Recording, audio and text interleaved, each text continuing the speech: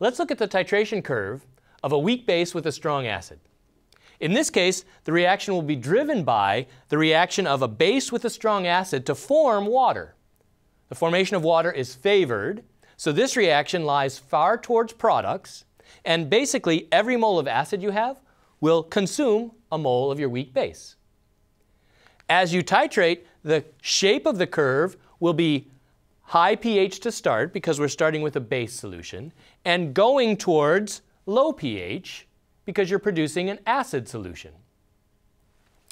So let's look at the various points along this curve. The equivalence point or end point is where I've added a mole of strong acid for every mole of base that I originally had. And I can look at the points along the curve. Initially, I have just a solution of the weak base, and I can calculate the pH there. In this region, the buffer region, I have about equal concentrations of the base and its conjugate acid.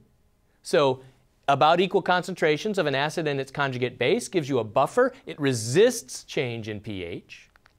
When I get to point, the equivalence point here, now I've converted all my base to the conjugate acid. I've added a mole of strong acid for every mole of base that I originally had, converting it all to its conjugate base. So you have a solution here of a conjugate acid. You can calculate the pH of a solution of a weak acid.